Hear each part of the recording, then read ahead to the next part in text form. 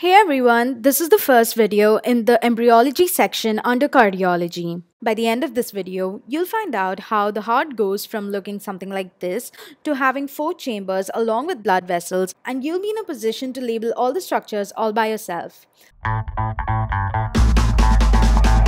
Firstly, let's see how the circulatory system forms. The heart starts beating spontaneously around week 4. So before that, the heart basically looks something like this. This is known as the heart tube. The main goal of the heart tube is to provide oxygenated blood to the brain. So blood in the heart tube flows in this direction. So now the central part of this tube will become the heart. So we know that arteries carry blood away from the heart and veins carry blood towards the heart. Here's a way to remember it A for arteries and A for away. So the bottom part of this tube will end up becoming future veins and the top part of this tube will end up becoming future arteries. Now soon, the heart tube will start changing its shape. The middle part of this tube will start bulging. This bulged portion is going to give rise to the future heart. Now, in the heart, veins empty blood into the atrium and from there blood moves into the ventricles. Ultimately, blood from the ventricles move into the arteries. So, this blue portion out here is going to be our future atria and the pink one out here is going to be the future ventricles. Having gotten a fair idea of this whole thing, let's move on to find out what are the anatomic names for these embryological structures. So firstly, I'm going to make this heart tube look something like this so that it's easier for us to understand.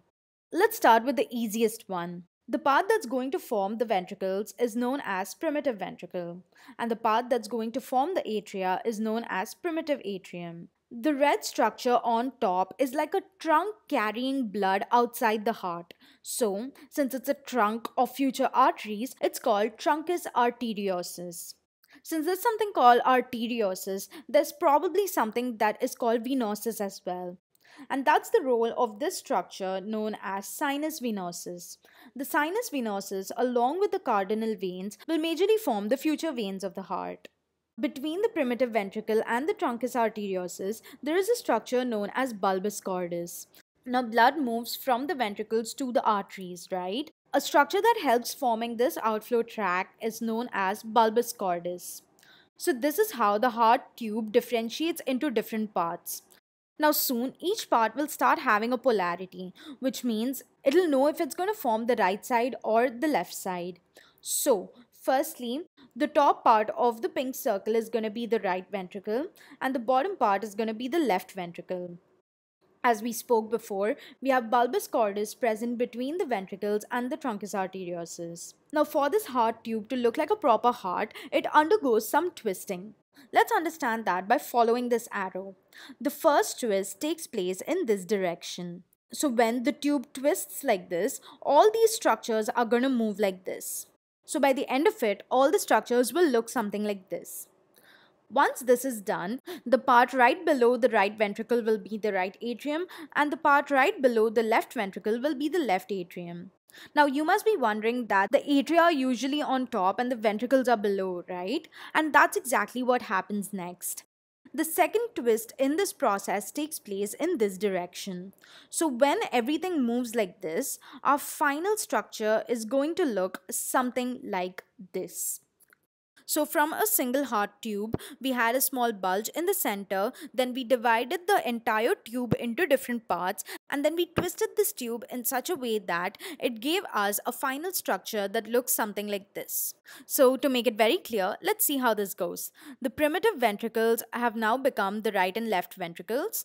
The bulbus cordis is present between the ventricles and the truncus arteriosus, and the truncus arteriosus is out here giving rise to the main arteries. Then we have the primitive atrium giving rise to the right and left atrium.